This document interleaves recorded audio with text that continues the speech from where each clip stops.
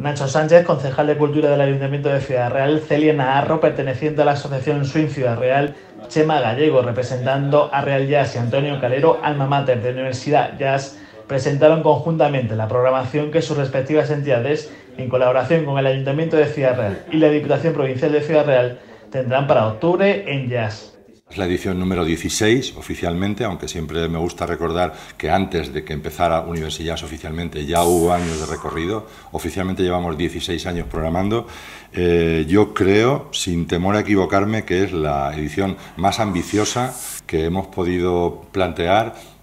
desde que empezamos con este recorrido. Eh,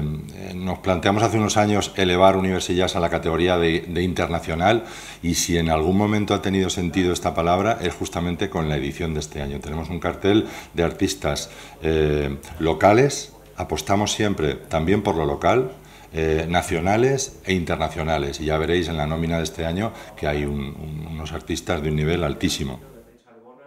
La programación preparada estará compuesta de distintos eventos de baile, música, cine y clases, tanto para profesionales como para la ciudadanía interesada en asistir, y estará en distintos puntos de la ciudad. Desde la Asociación Real Jazz de Ciudad Real, pues vamos a colaborar con esta iniciativa de Octubre Jazz con, tres eventos. El primero de ellos pues es nuestro, nuestro sexto concierto de, de la temporada a cargo del grupo Beat Bronco Organ Trio, que está basado bueno, pues en la tradición clásica de, tríos eh, donde el, órgano Hammond, la batería y la guitarra son, son las estrellas y bueno, pues nos van a representar los temas de su último trabajo,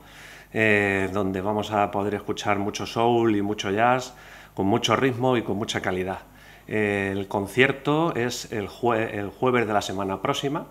el 13 de octubre, en el Teatro Quijano de Ciudad Real, a las 21 horas. Eh, como siempre, los socios del Real Jazz pues, tienen acceso gratuito, los menores de 14 años también. Hasta 25 años tienen un descuento y la entrada les costará 7 euros y para el resto del público pues el, concierto, la entrada costará 15 euros. Bueno, nuestro segundo evento es eh, la organización de un nuevo ciclo de cine Real Jazz, en este caso ya sería la segunda edición, en el cual este año va a constar de, tres películas que se van a proyectar en el Cine Las Vías los días 17, 18 y 19 de octubre.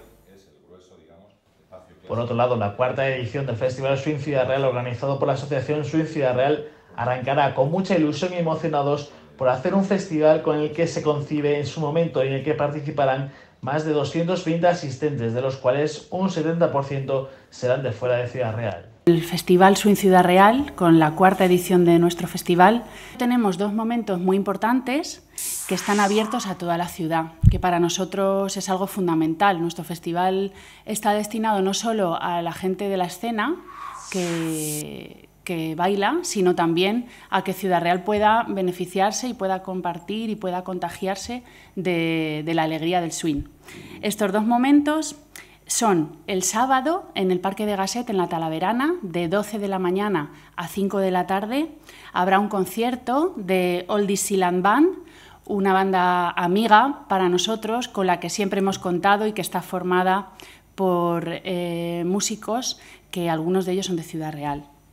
Van a ofrecernos un concierto, habrá también música pinchada después y la idea es que todos